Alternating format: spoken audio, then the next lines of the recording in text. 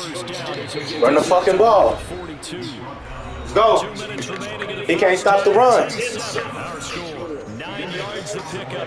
Yeah.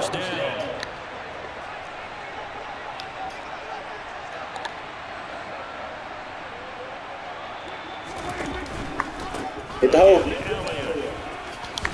Hit the hole. Oh my God, Elliott.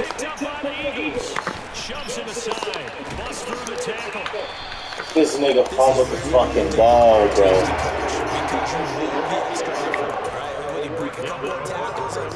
I mean, this he was really trying to gain the extra yardage, but you also have to have an idea that people can come up nigga real side, fumbled the ball. Take care of the ball while you're trying to get extra effort. Okay. Sometimes you have to know when to say when and maybe just go down. Get that motherfucker back!